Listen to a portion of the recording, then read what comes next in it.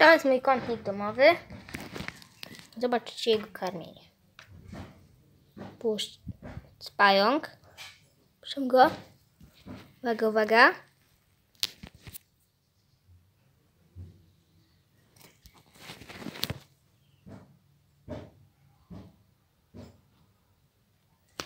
O!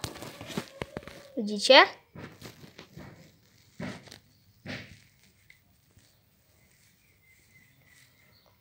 Jego, jego.